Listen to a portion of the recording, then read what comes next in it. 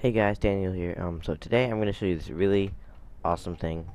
So this mob spawners, three times piston door, and you don't know what this is yet unless you looked at the title, which you probably did. So never mind.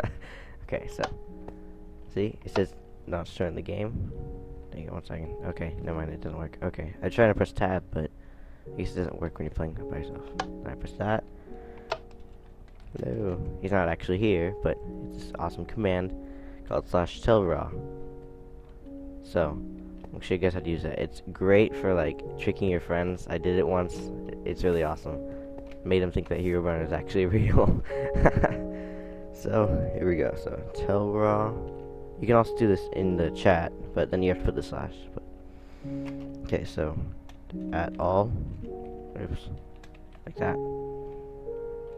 So this means that it's gonna do for all players, so it's actually like something's appearing in the chat. Like someone said something.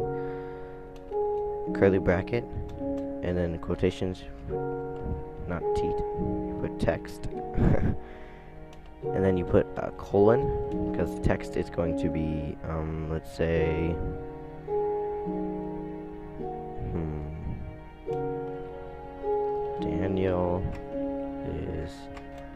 awesome.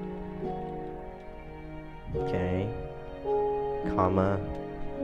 And then quotations, you put color. You don't need to do this if you just want it to be white, but we don't want it to just be white. We want it to be awesome. So I'm to put um, gold. I'll put all the different um, colors and stuff you can put you can put on there, and I'll put that all in the description. So just like that. Press that. Uh, back. Gonna see what's wrong with this. okay, I found the problem. I put the at before the A. Or after the A. There we go. Okay, Daniel is awesome. Yay. Just like I am. Okay. so that's how you do it. It's really simple. So I can do it here. So that's so raw. Um, at all. Or I could just put like a player's name. Like I could put my own, but I guess that's the only, since I'm the only one here, I could do that, but I'm gonna just do this. Just because if you were like on a server something, that's what you would do. Then you'd put text.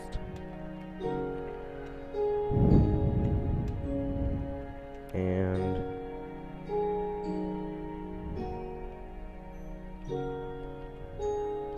tension.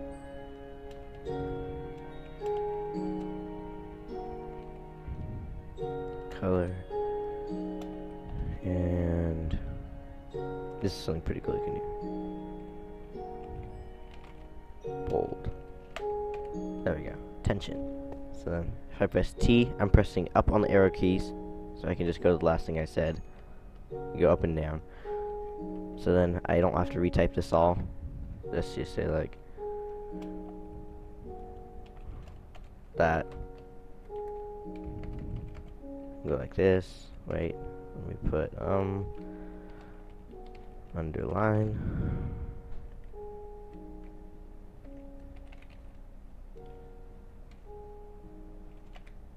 There, see, underline.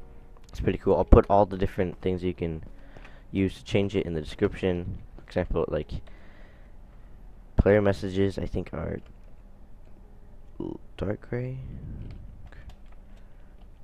they spell gray with an A. So if you spell it the other way, so you know. So from uh, I, I haven't seen a player message today yet, so I don't really remember what it looks like. I'm just gonna go like this. I know this is not what it looks like, but okay. Yo. Yeah, that's not definitely not what it looks like. Let me just try gray. Okay, I got the color, but I think it's also in italic, which I can show you here.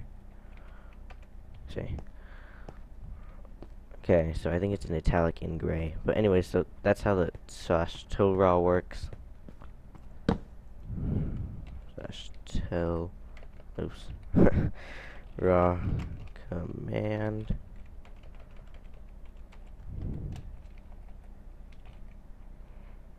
There you go. So next up, I'm going to be showing you how to make armor and stuff that gives you extra health.